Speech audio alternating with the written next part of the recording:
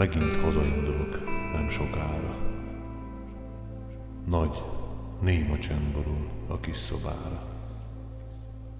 Üres, kihalt lett, az ajtaja is zárt.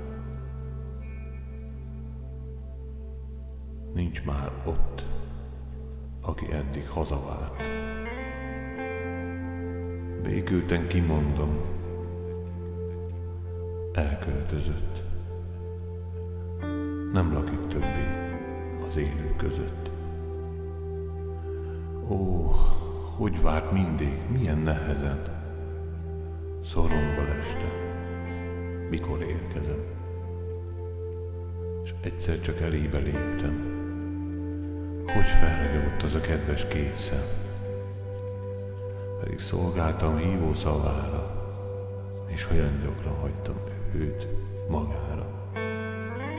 És neki úgy fájt minden búcsúvétel, körültipegett apai féltéssel. Amíg csomagoltam és rendezgettem, szeme kisét, csendesen ült mellettem, és belesűrítve szóba annyit mondott. Azután egyszer ő is útra kelt, végső tekintetével átölelt, és elindult. Hangtalanul, csendben. Elment. Elment. Hiába keresem. Ő utazott el, ismételgetem.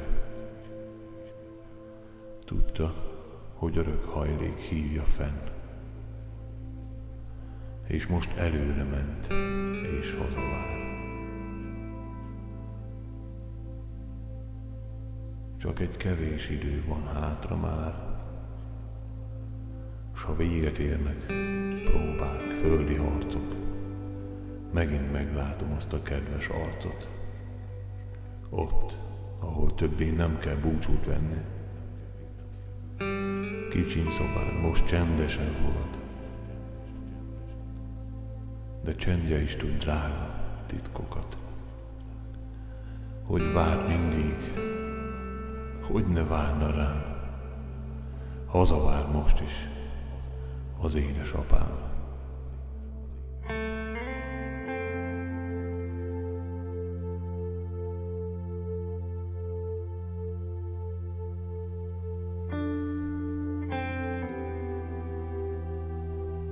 Mindig az emlékeimben élsz,